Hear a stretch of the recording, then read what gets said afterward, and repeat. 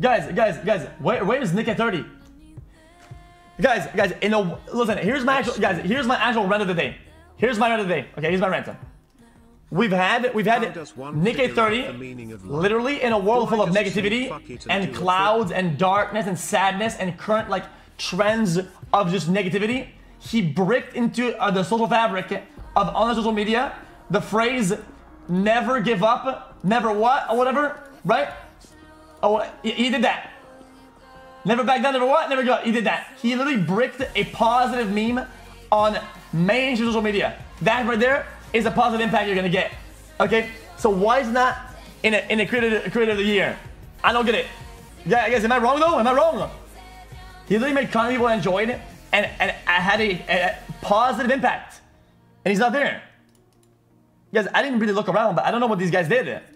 Guys, I love David Don't get me wrong. I think I, I think very good content for the people that like him. Same goes with all these guys, but I, I didn't I didn't really, really see that positive impact on the world, yo.